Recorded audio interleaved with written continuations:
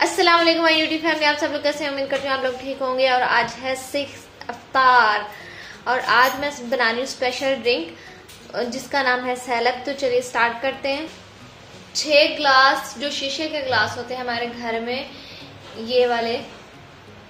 ये छः ग्लास मैंने लिए। हैं वो मैंने देचकी में डाल के चूल्हे पे रख दी और एक ग्लास मैंने बाहर बचा लिया, ये ठंडा दूध है। मतलब कि हो गए सात ग्लास दूध चाहिए हमें। टेन टेबल स्पून चीनी लेंगे और फाइव टेबल स्पून कॉर्नफ्लोर लेंगे। ये इधर बॉयल हो रहा है दूध। ये पहले बॉयल हुआ, लेकिन अभी एक बॉयल आने देंगे। कॉर्नफ्लोर में दूध डालेंगे ठंडा और इसको अच्छे से मिक्स कर लेंगे। दूध में उबाल आ चुका है तो अभी हम इसमें चीनी डाल देंगे।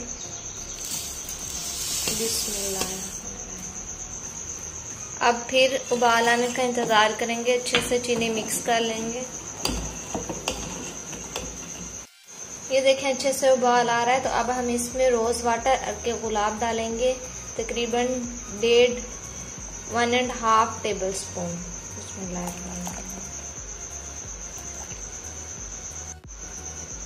अब इसको अच्छे से मिक्स करेंगे।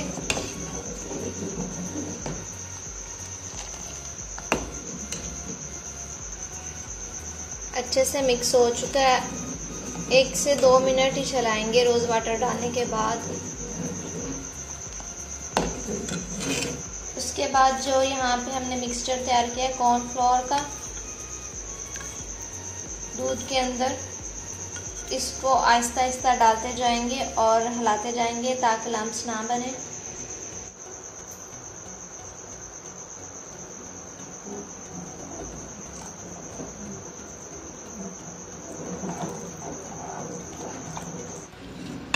दो कॉर्नफ्लोर डालने के बाद दो से तीन मिनट चलाएँगे।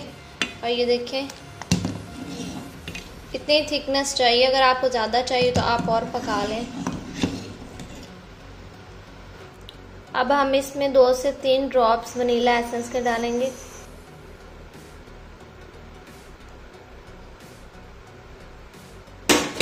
और मिक्स कर लेंगे। अब इसे रूम टेम्परेचर पे आने के लिए मैंने छोड़ दी है। पानी के अंदर मैंने इसे रखा है ताकि ये थोड़ा जल्दी रूम टेम्परेचर पे आ जाए। ताकि बाद में इसे फ्रिज में रखा जा सके।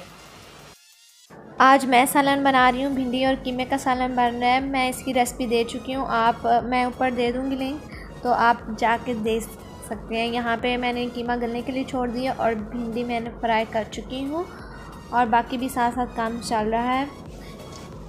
सैलब को मैंने अच्छे से ठंडा करके रूम टेम्परेचर पे करके उसके बाद मैंने उसको फ्रीज़र में रख दिया था ताकि जल्दी से ठंडा हो जाए। तो यहाँ पे ठंडा हो चुका है तो अब हम ग्लास में डाल रहे हैं और उसके ऊपर हम लोग कटे हुए बादाम बारीक बारीक डालेंगे। अगर आपके पास कोई भी ड्राई फ्रूट है, वो आप डाल सकते हैं, आपकी मर्ज़ी है। और ये ठंडा अच्छे से हुआ हो तो बहुत ही मज़े का लगता है। आप इसे ज़रूर ठंडा करके ट्राई करें, आपको पसंद आएगा। और आज के अफ्तार में बन रहे हैं पकौड़े। अम्मी आज बना रही हैं पकौड़े क्योंकि अम्मी के हाथ के पकौड़े बहुत ही मज़े के बनते हैं। इसकी रेसिपी भी मैं दी हुई है।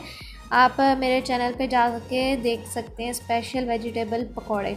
और सालन रेडी है, माशाल्लाह बहुत ही मज़े का बना है। आप भी ज़रूर ट्राई कीजिएगा। हमारा यहाँ पे दस्तरखान लग चुका है, माशाल्लाह देखें कितना मज़े का सहलब लग रहा है।